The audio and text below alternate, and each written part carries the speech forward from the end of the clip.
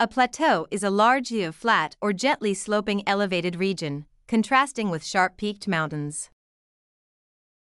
Formed through various processes, tectonic forces can uplift large land sections, like the Colorado Plateau, or volcanic activity can spread lava that hardens into plateaus, exemplified by the Deccan Plateau in India.